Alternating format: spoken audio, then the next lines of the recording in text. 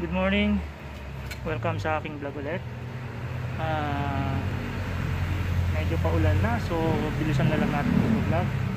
Today I'm gonna teach you how to clean the uh, oil filter of Motorstar Cafe 400.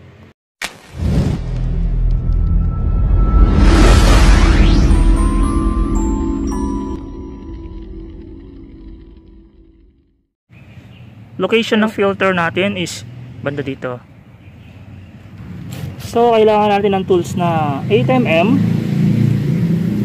na socket, extension, saka ratchet drive. Kahit 1/4 lang na ratchet drive, okay na. Buksan natin to.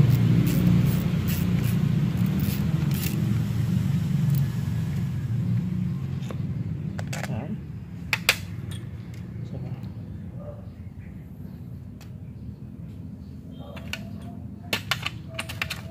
Remember, pinakamaiksi dun sa left, pinakamahaba dun sa right.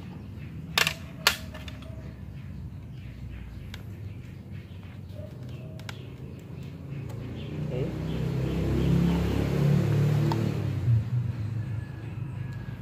May nag-drift na oil na konti. Siguro mga 20 uh, to 30 ml. Ito yung sumasala sa mga rebaba. Rebaba means yung mamaliliit na metal na galing sa engine. Pag nagbe-break in ka pa lang, yun yung mga yon. Kung mo break in, mawawala na to. So, pag nag-change oil ka, pagka halimbawa na break in mo na at natanggal mo na yung mga rebaba nito, hindi mo na kailangan buksan to. Kumbaga, siguro, after uh, 3 change oil, saka mo lang ito linisin ulit. Ganun. Itong kailangan natin sa panlinis is gasolina.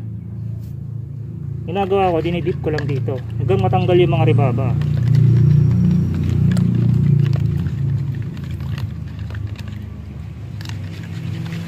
Dinidip ko lang. Yan.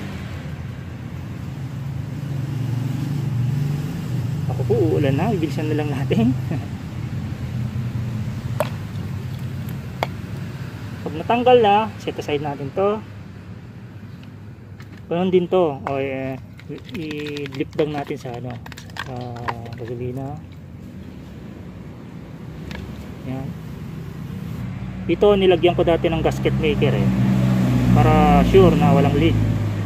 Lalagyan ko siya ng konting oil para mamaya mabilis natin may ilalagay.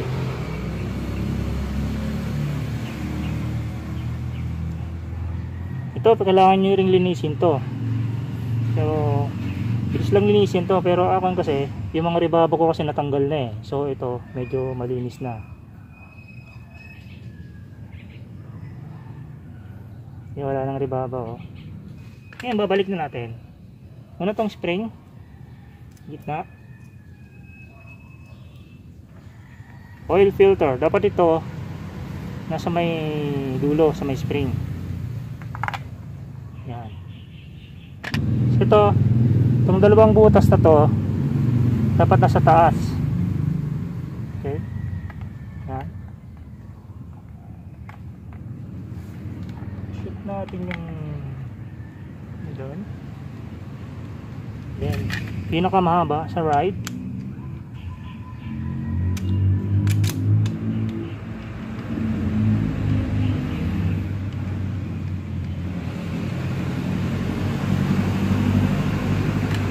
Pinakamaiksi sa left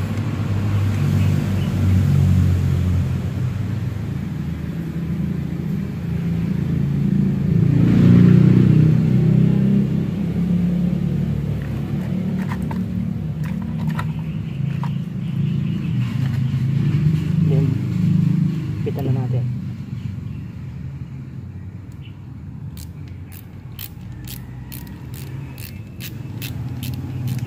ano nga ba yung higpitan to? Sa yung higpitan. Kasi pag ginawa nyo yun mag magkakaroon ng angle. Pag nagkaroon ng angle yan maaaring masira yung o-ring mo. So dapat alternate mo siyang uh, sisikipan. Para pantay yung pag uh, pasok niya sa loob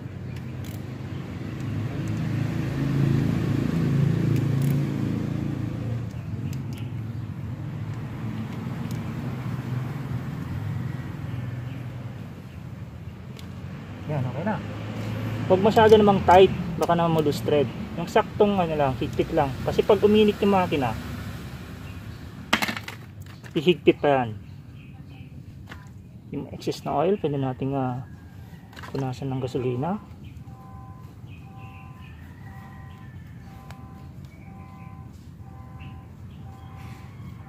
Yun.